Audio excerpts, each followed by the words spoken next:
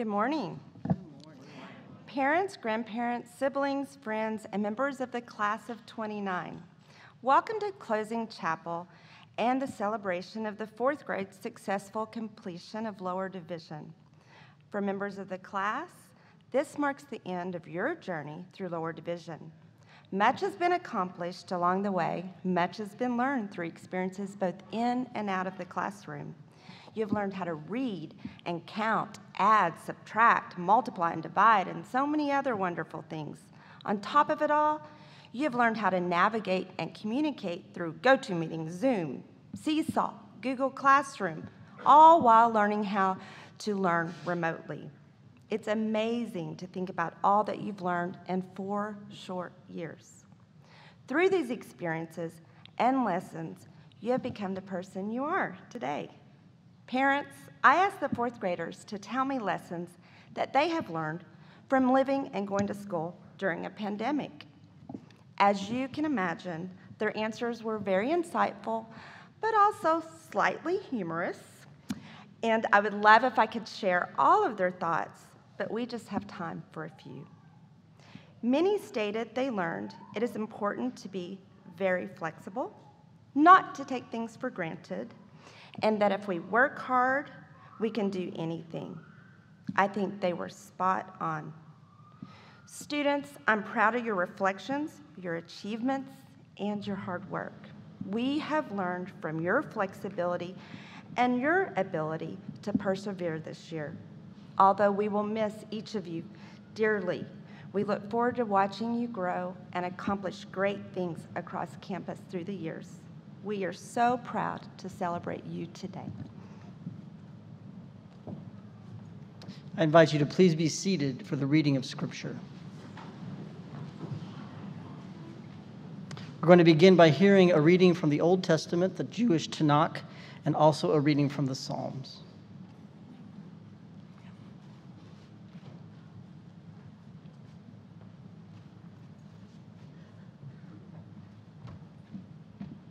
A reading from the Old Testament book Deuteronomy.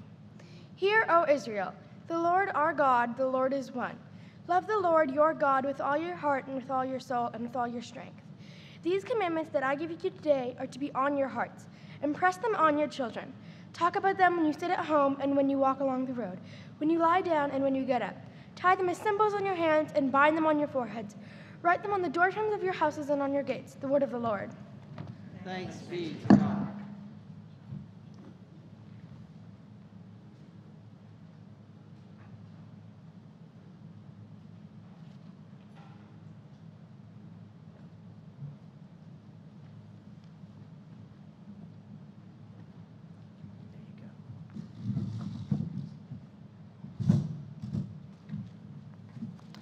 My people, hear my teaching. Listen to the words of my mouth. I will open my mouth with a parable. I will utter hidden things, things from of old, things we have heard and known, things our ancestors have told us. We will not hide them from their descendants. We will tell the next generation the praiseworthy deeds of the Lord, his power, and the wonders he has done. He decreed statutes for Jacob and established the law in Israel, which he commanded our ancestors to teach their children, so the next generation would know them, even the children yet to be born, and they in turn would tell their children. Then they would put their trust in God and would not forget his deeds, but would keep his commands. Glory be to the Father, and to the Son, and to the Holy Spirit as it was in the beginning, is now, and will be forever.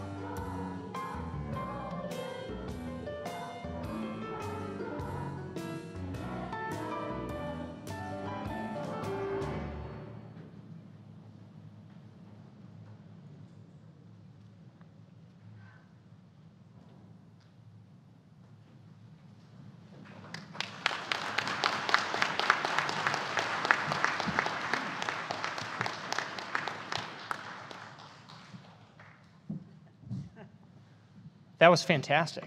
Thank you guys so much. Um, well, I'd like to say thank you to Ms. For inviting me to be here.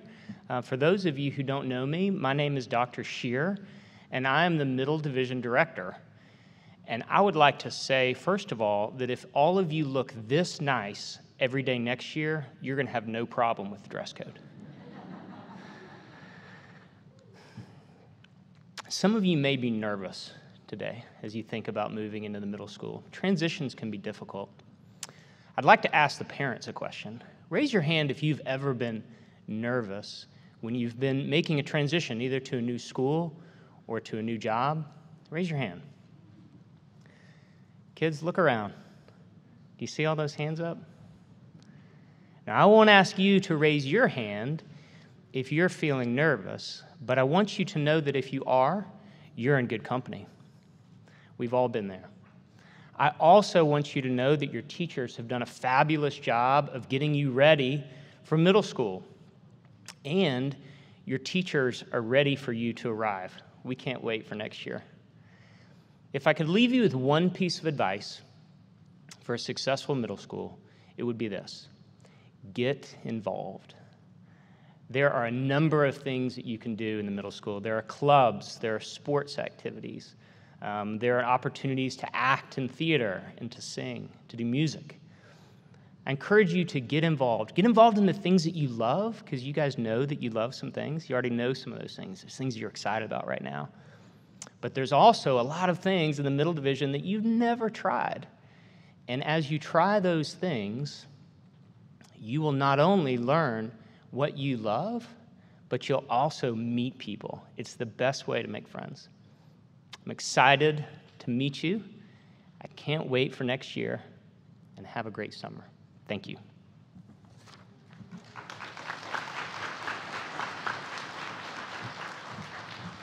Thank you, Dr. Shear. We're now going to hear two readings from the New Testament, the Christian scriptures. One from the epistle of Paul that he wrote to Timothy, the second epistle, and then also from Matthew. So there are two readers. Would you begin to make your way to the podium? And let's hear these sacred words.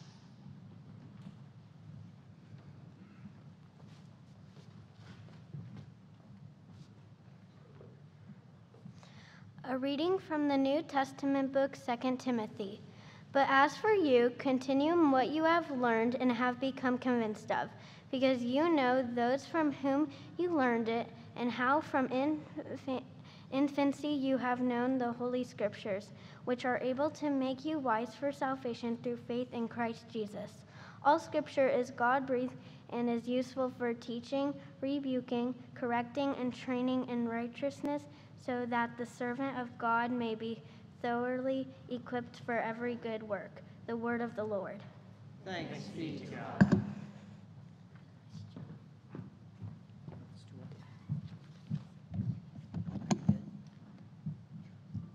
A reading from the Gospel of St. Matthew. At that time, Jesus said, I praise you, Father, Lord of the heaven and earth, because you have hidden these things from the wise and learned and revealed them to little children. Yes, Father, for this is what you were pleased to do. All things have been committed to me by my Father. No one knows the Son except the Father, and no one knows the Father except the Son, and those whom and those to whom the Son chooses to reveal him. Come to me, all you who are weary and burdened, and I will give you rest. Take my yoke upon you and learn from me, for I am gentle and humble in heart, and you will find rest in your souls. For my yoke is easy and my burden is light the word of the Lord. Thanks, Thanks be to God.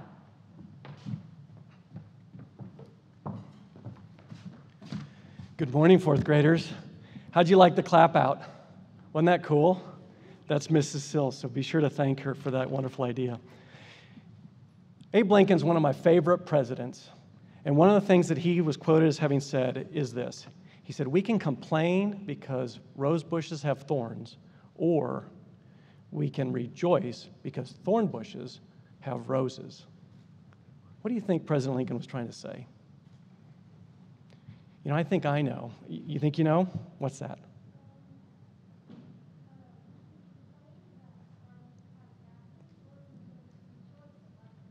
Very good. Absolutely. I think this is exactly what you guys did this last year. Instead of focusing on the craziness of COVID, the thorns, you focused on the really cool things that we got to do, the roses. You embraced having class in person with our amazing teachers. You also supported your classmates who, for whatever reason, valid reason, needed to learn remotely this year. You accepted that you cannot that, that you needed to learn remotely. You also accepted that the campout wouldn't happen this year, didn't you? And what did you do? You embraced and made a really fun day at Camp Classen.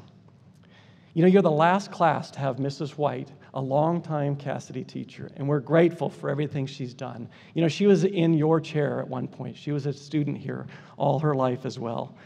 You also made normal, made us feel normal wearing masks. Thank you for doing that. That was so helpful. You accepted that maybe your best friend was in another class and you couldn't play together because we didn't mix our cohorts. Thank you. You had many opportunities to complain, but you never did. As you leave the supportive, nurturing, and loving lower division and you head up into a fun, energetic, and also still supporting middle division, I want you to remember the words of Ralph Waldo Emerson.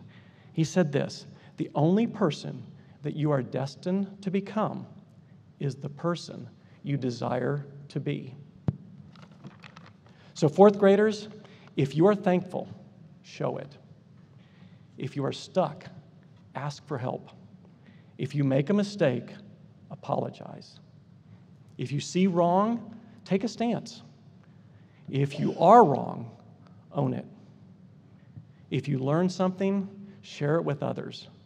And finally, if you care about someone, you want to let them know. So, class of 2020 and 29, you have worked hard.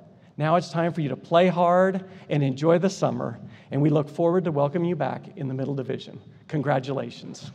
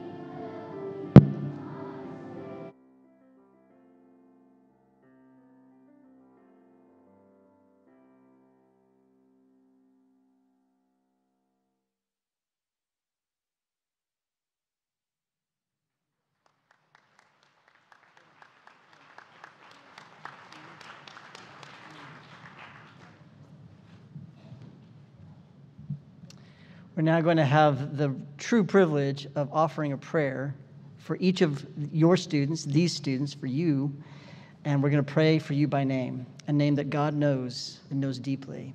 Um, but before we do that, we're going to offer our collect. And the students know this, but I'll say this to the parents. This is the peculiar description that we use in the Episcopal Church to talk about a prayer that we return to every day throughout the week. And it's, uh, it's like a bucket. It collects all of the various prayers that I know exist in this room and your hopes for your children. So come and offer the collect, and then we'll pray for our students by name.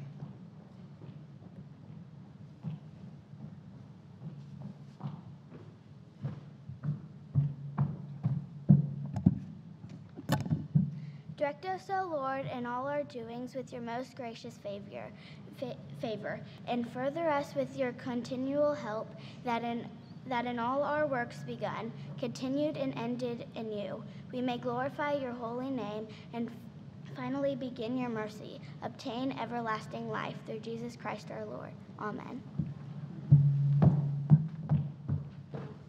As Mrs. Sill comes, she's going to read the names of the students, uh, about five at a time. And then we're going to stop, and I'm going to say, Lord, in your mercy. And what do we say? Hear our prayer. Maha Rani Amir, Amir Muhammad Aslam, Jillian Nicole Bradford, Henry Allen Brown, Olivia Catherine Brown. Lord, in your mercy, hear our prayer. Cole Ryan Cashin, Eleanor Renee Cloud, Max Eric Coate, Justin Maxwell Cope II, Daniel Price Coyle. Lord, in your mercy, hear our prayer. Saneha Sheree Devakonda, Briley Elizabeth Edgman, Harlem Marcel Fleming, Sir Grayson Ezekiel Gardner, Larissa Brielle Goodman. Lord, in your mercy, hear our prayer. Hudson Bonebreak Graham, Sam Raghav Gupta, Isabel Leora Harris, Alexandra Catherine Hartzog, Isaac Vancouver Heidebright. Lord, in your mercy, hear our prayer. Kiera Joel Heidebright, Zana Margaret Holmesy, Chloe May Hall, and Abigail Lucille Jacobs. Lord, in your mercy, Arden Khan Kataglu, Harper Christine Keys, Ikanch Kumar, Lily Grace Mills, Maeve Kathleen Mullen. Lord, in your mercy, hear our prayer. Gabriel James Nafee, Lily Faye Olali Pearl, Poppy Duran Pierce, Ellen Kate Quillian, James Martin Quillian. Lord, in your mercy, hear our prayer. Johnston William Records, Thomas Bullard Reed, Bullard Reed, James Watson Roby, Penelope Asta Wrench, John James Ruffin. Lord, in your mercy, hear our prayer. Anna Louise Salter, Scott Esper Samara, Shirley Don Shear, Kanishka Sharma, Charlotte Ann Sparling. Lord, in your mercy, hear our prayer. Luke Michael Stone, Sadi Nath Subedi, Alice Jean Sun, Monish Thackrell, Phoebe Ann Thomas. Lord, in your mercy, hear our prayer. Robert Savage Thomas, Scout Emery Tucker, Rowan Krishna Walya, Elliot Schuyler Yee. Lord, in your mercy, hear our prayer. Thomas James Zacharias, and Willa June Zilke. Lord, in your mercy.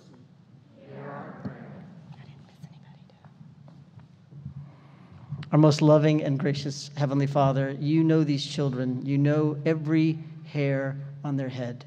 You know every hope and dream that they have now and the ones that they will be cultivating in the days and years to come. God, bless them for the work that they have done. And in these coming months, give them a deep rest so that as they return next year and begin middle school, it will be the beginning of a journey and their becoming where they begin to know you and know themselves better than they ever could imagine. I pray this in your holy name. Amen. Well, we are now going to offer our blessing and sing our Casady hymn, which will sing them out. But before we do that, we have a special presentation.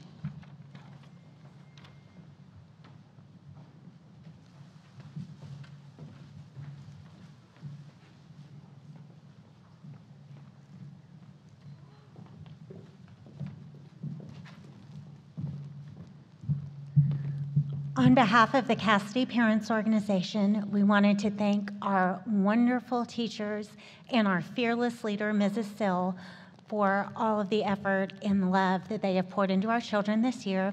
So we'd like to call up the teachers. First, Mrs. Angie Crisp.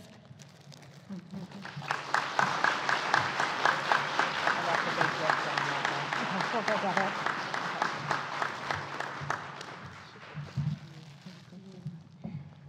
Mrs. Gloria Hawk.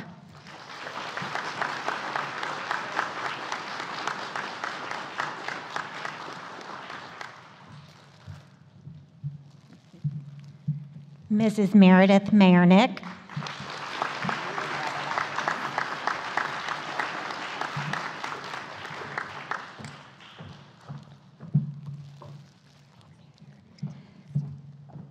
Mrs. Kathy White.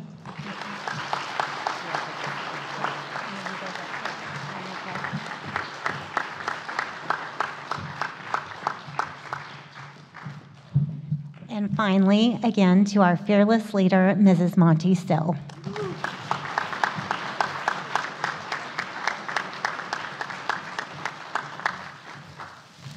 And we have an extra special little something for Mrs. White, um, who this is our last day and you'll be leaving us. So we wish you all the best in your retirement and in the future. And here's a little basket of Casady memorabilia to take with you up to Michigan. So thank you, Mrs. White.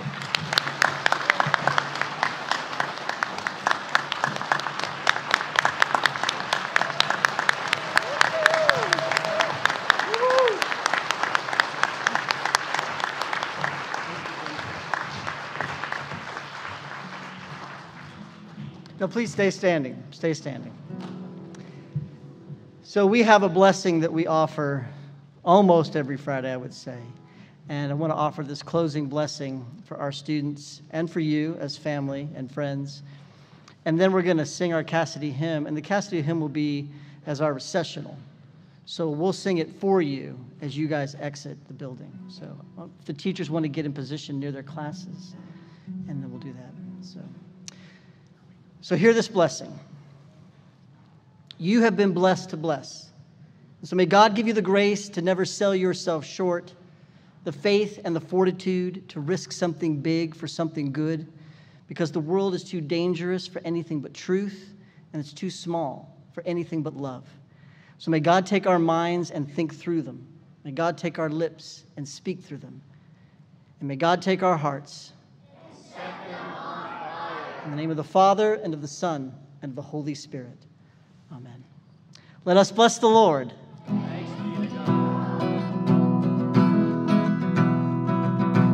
Lord, in these quiet